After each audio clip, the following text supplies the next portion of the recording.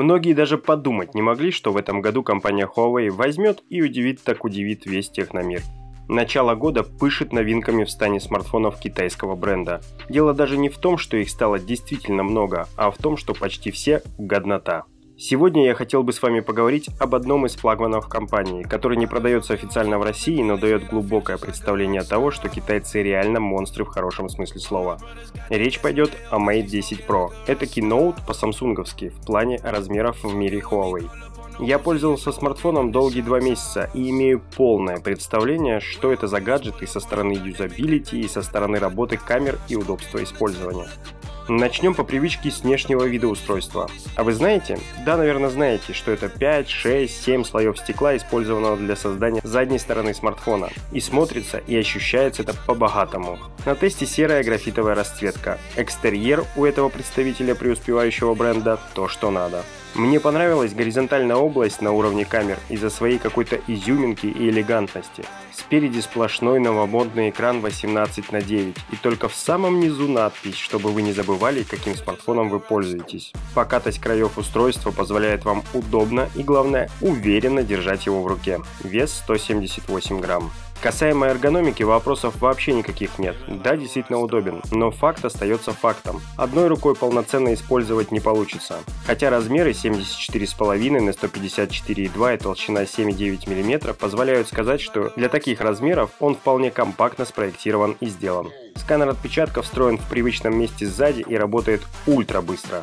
Экран – один из самых важных моментов в любом современном гаджете, с которым вы коммуницируете в каждый день по несколько часов. И тут он 6 дюймов, AMOLED 1080 на 2160 пикселей, 24 бита с возможностью редактировать цветовые профили прямо из настроек. AMOLED всегда имеет ряд преимуществ перед IPS, но также надо знать о всех известных недостатках. Черный, как всегда, true черный, а белый иногда зеленит при определенных углах. Но обычному пользователю пользователю этот экран покажется замечательным и насыщенным со всех сторон. Про углы обзора и пиксели тут и говорить не стоит, все на очень приличном уровне. Воздушной прослойки нет, изображение прямо на поверхности, все как вы любите.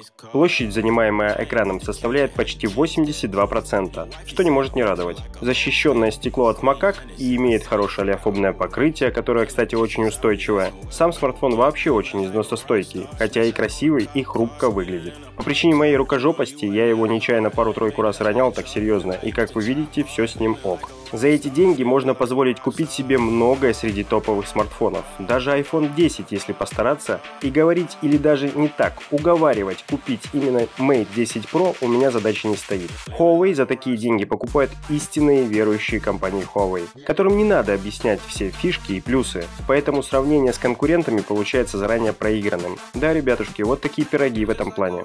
Huawei настолько уверены в себе, что сами себе мастерят процессоры и не хотят коллаборировать ни с драконом, драконами, ни с кем-то еще. Тут одни из самых последних наработок. И это Huawei HiSilicon Kirin 970 и 8 ядер, сделанные по техпроцессу 10 нанометров, 4 по 1.84 и 4 по 2.36 ГГц в паре с видеоядром Mali J72 MP12 и 6 гигов оперативки. Ворочают все поставленные задачи на ура.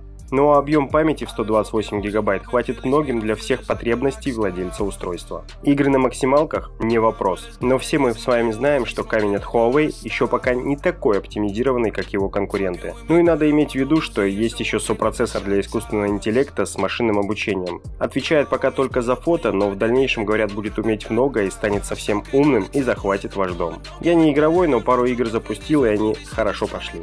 О камерах хотелось бы не говорить, а показывать, на что они способны. Итак, это основной модуль с обратной подсветкой 12 плюс 20 мегапикселей с апертурой f1.6, естественно с лазерным фокусом и двойной вспышкой. Фронтальная камера на 8 мегапикселей с апертурой 2.0, видео пишет вплоть до 4К, но звук записывает на четверку с минусом. Камерами я остался полностью доволен. Я сделал с помощью этого смартфона очень много фото и видео. Сложно показать их все в одном обзоре, но есть второй канал, если что, ссылка в описании. Там больше про видео, но все-таки, welcome. Вообще, если честно, то возможности камеры в современных смартфонах от Huawei не может не радовать. Примерами этому стала недавняя презентация P20 и P20 Pro с их зубодробительными возможностями фото и видео. Больная тема про софт на смартфонах Huawei. Все так алиповато смотрится в 2018 году. Хоть компания и старается сделать очень похожий на Apple iOS софтовый клон на стероидах, получается не очень. И за что и нужно ругать компанию, так это за софт. Вроде Android последний, вроде и не лагает почти, но почему-то бесит в целом. Не получалось так, чтобы я не установил лаунчер на мой вкус и хоть как-то радовался интерфейсу Android. Huawei, пожалуйста, я знаю, что вы смотрите мои видео. Остановитесь и перестаньте делать что-то похожее на конкурентов. Сделайте свое, например, совершенно перерисованное. Отдельно хотелось бы отметить звук. Я первый раз столкнулся с тем, что пользуюсь смартфоном без входа для наушников. То, что я услышал через разные Bluetooth наушники, конечно же, не привели меня в какой-то аудиофильский шок, но я был приятно удивлен качеством звучания. Все достойно и создалось впечатление, что компания-производитель постаралась угодить всем и отредактировала звук так, чтобы он понравился многим по всем параметрам. Высокие и низкие частоты на должном для них уровне. Середина не сваливается в аудиомюсли, если вы понимаете, о чем я. Вообще звук дело всегда очень субъективное. Понравилось, как реализовано стереозвучание в паре основного динамика и того, который отвечает за звук во время разговора. При этом это отчетливо слышно, когда меняешь ориентацию просмотра экрана с вертикальной в горизонтальную. Прям отчетливо. Прям слышно, как меняется звук. Модули связи все самые современные. Двухдиапазонный Wi-Fi, прокачанный Bluetooth, поддержка всех частот LTE, две нано-сим-карты и все стандарты навигации. Качество связи тоже может похвастаться своей стабильностью. Надо не забыть сказать про то, что есть защита по стандарту IP67 – это хорошо, но ни разу мне не пригодилось. Касаемо энергоэффективности, батарея на 4000 мАч дает примерно 5-6 часов работы экрана, в моем случае вечером всегда оставалось 25-35%. Из этого можно сделать вывод, что на пару дней в обычном использовании это золотой стандарт. Цена. Это, конечно, да, адок прям около 50к в рублях или сами посчитайте сколько в евро или афротугриках.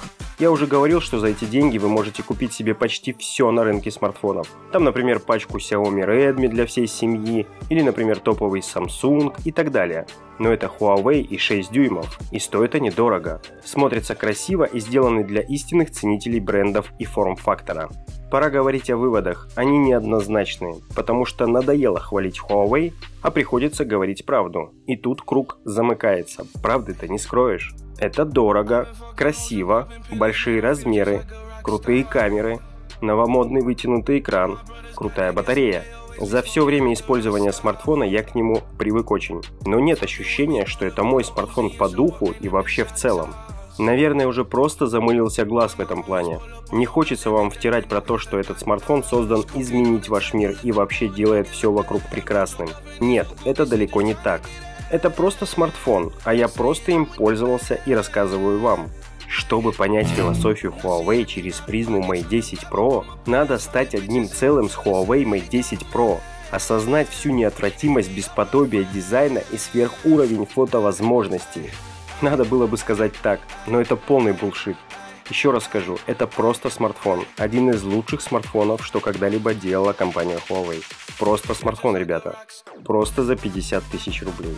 Просто с превосходной камерой. Просто красивый.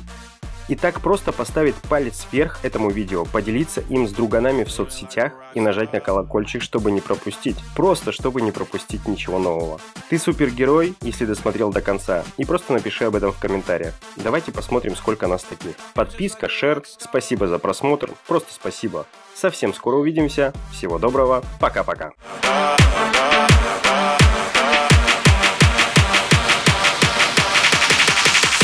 Living like a rock star. You're